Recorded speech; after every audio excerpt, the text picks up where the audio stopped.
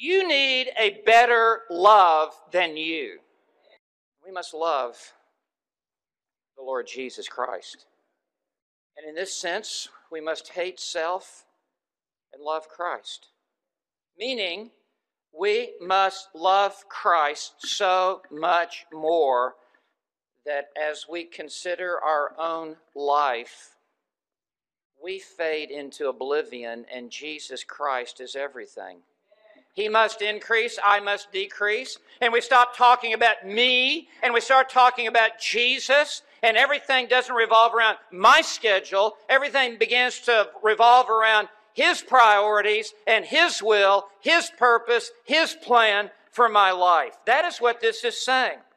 And at the end of verse 26, he says, Or he cannot be my disciple. This is non negotiable.